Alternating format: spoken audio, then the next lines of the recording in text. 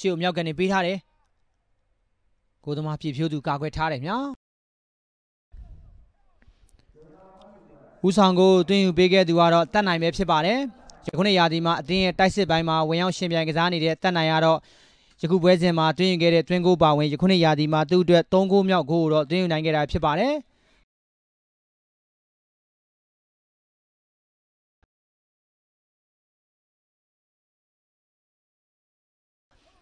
ဘောလုံးလက်ခံရရှိထားတဲ့သူကတော့ရဲရင်အောင်ပဲဖြစ်ပါတယ်ရဲရင်အောင်ဘောလုံးရထားသေးတယ်ဗျာရဲရင်အောင်ပဲဆွဲဝင်လာတယ်ကန်နေဂိုးတယ်ခင်ဗျာရတနာဘုံ FC တင်ရတော့ဒုတိယမြောက်ဦးဆောင်ကိုရရှိခဲ့ပြီဖြစ်ပါတယ်ဂိုးသွင်းယူပေးခဲ့တဲ့သူကတော့ဂျော်နမန်29ရဲရင်အောင်ပဲဖြစ်ပါတယ်